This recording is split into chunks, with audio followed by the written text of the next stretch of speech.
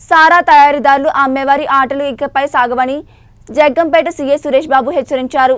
Jaggampeta police స్టేషన్లో జరిగిన media సమావేశంలో ఆయన మాట్లాడుతూ జిల్లా ఎస్పీ రవీంద్రబాబు ఆదేశాలతో పేకాట గుండాట నాటుసారా తయారీ కేంద్రాలపై విరివిగా దాడులు నిర్వహించడం జరుగుతుందని తెలిపారు.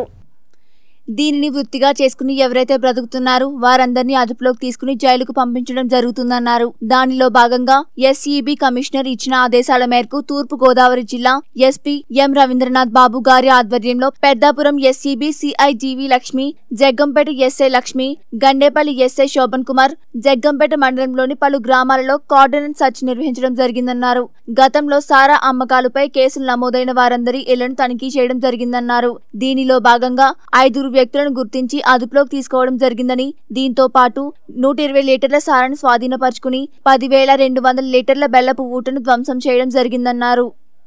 మీ అందరూ కూడా ఇటీవల కాలంలో ఎన్ఫోర్స్మెంట్ వర్క్ చూస్తే మీ అందరికీ కూడా అది కనిపిస్తూ ఉంటుంది. దానిలో భాగంగా ఈ రోజున కమిషనర్ గారు ఎస్సీబీ కమిషనర్ గారు ఇచ్చినటువంటి ఆదేశాల మేరకు మన తూర్పుగోదావరి జిల్లా ఎస్పీ ఎం రవీంద్రనాథ్ బాబు గారి ఆధ్వర్యంలో పెద్దాపురం సిఏ మేడం గారు జీవి లక్ష్మి గారు అదే ఎస్సీబీ స్టాఫ్ వారి స్టాఫ్ మరియు అదేవిధంగా జగ్గంపేట సర్కిల్ పరిధిలో ఉన్నటువంటి మా స్టాఫ్ సుమారుగా ఒక ముప్పై ఐదు మంది జగ్గంపేట మండలంలో ఉన్నటువంటి జే కొత్తూరు గ్రామంలో సారా యొక్క అమ్మకాలు ఎక్కువగా ఉన్నాయని గ్రహించి ఆ గ్రామాన్ని ఐడెంటిఫై చేయడం జరిగింది. ఐడెంటిఫికేషన్ చేసి ఆ గ్రామంలో కార్డెన్ అండ్ సెర్చ్ ప్రోగ్రామ్ నిర్వర్తించడం జరిగింది. అంటే కార్డెన్ అండ్ సెర్చ్ అంటే ఏంటంటే ఆ గ్రామాన్ని పూర్తిగా చుట్టుముట్టి ఆ గ్రామంలో ఉన్నటువంటి ఎవరైతే పాతగా కేసులు నమోదైనాయో ఆ గ్రామంలో సారాయి కేసులు అయితే ఎవరి మీద అయితే నమోదైనాయో వారందరిని కూడా చెక్ చేయడం జరుగుతుంది. ఆ చెక్ చేయడంలో భాగంగా ఒక ఐదు ఒక ఫైవ్ మెంబర్స్ని అప్రహెండ్ చేయడం జరిగింది.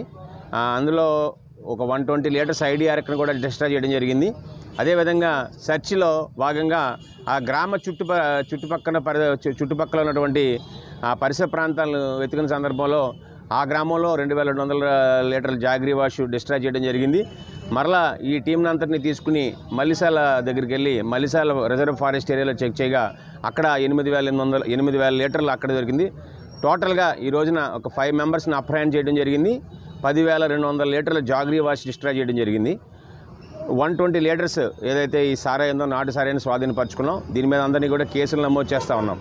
మీ అందరికీ కూడా ఎవరైతే